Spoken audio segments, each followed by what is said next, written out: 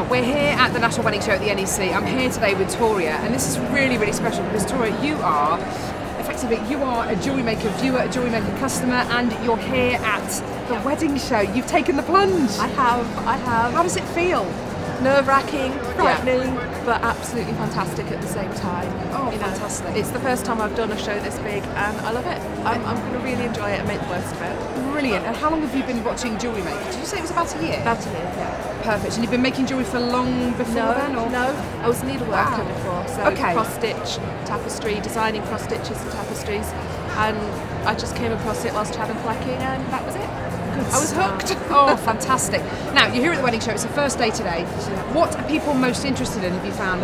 Certain designs or certain gemstones that you're working with? We've had quite a lot of popularity with pearls yep. and with the tiaras, but also my big chainmail piece, Perfect. which was inspired by Fleur. oh, wonderful absolutely fantastic.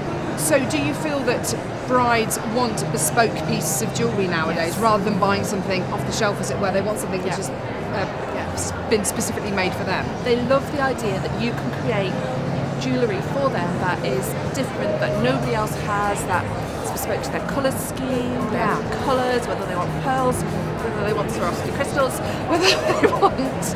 Um, gemstones so that you can actually work with them so that they get jewellery that they want and that works for them. And also the other thing is you can say if they get a pearl tiara, well, after your wedding, I can take it apart and make you some jewellery.